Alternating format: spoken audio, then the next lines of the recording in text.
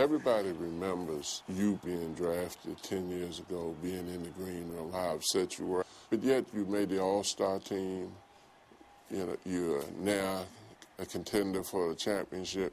Share with me that emotional roller coaster that you personally have experienced in the NBA.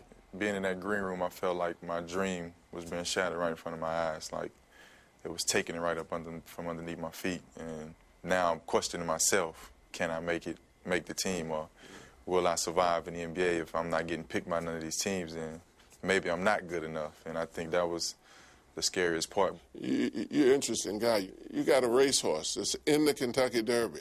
Tell me how that came about. Actually, the first horse we bought joined in the dance. Uh, as soon as we bought him, he went out and won his very next race. They say in the horse racing business, people have been in it for 10, 20 years and never ran in the Kentucky Derby.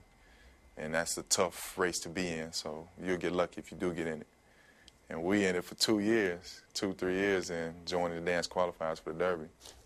You've also had some very trying times and some very tough emotions. Your little girl, during the All Star break, acquired a virus and got sick.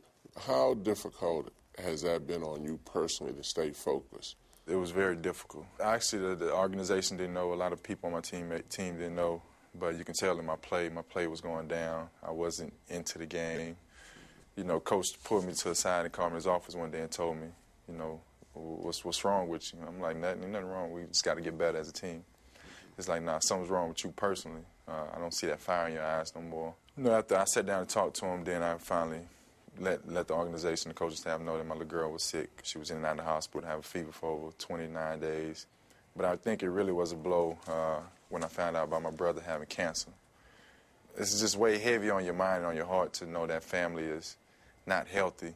And uh, I think that's the most important thing is you got to take care of family before anything else. And it just really took a toll on me at the time. You mentioned Coach Van Gundy's concern about you personally. When you see him on the sideline, he looks like a firecracker. Oh, yeah. But talk to me about the sensitive side of the guy who coaches you. Uh, a lot of people don't see the, the other side of Stan Van Gundy. And he was pulling me aside as a person, not talking to me as a basketball player while I wasn't performing on the court to help us win ball games at the top of my level. He was looking at me in my eyes and know something was wrong.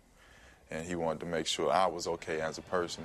What is it that you have to do in order to beat Cleveland? We got to match their energy at the jump ball.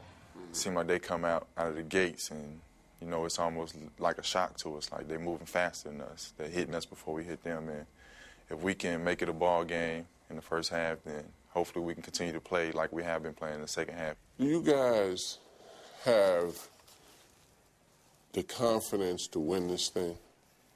All of it. We feel like we're a good team. We feel like we have the coaching staff and the players to, you know, win the NBA championship. It's just us going out there and competing for 48 minutes. When you get that window of opportunity to win the NBA championship, you gotta. I learned over the years that you have to take advantage of it now. At that time, you can't wait because it may not come again.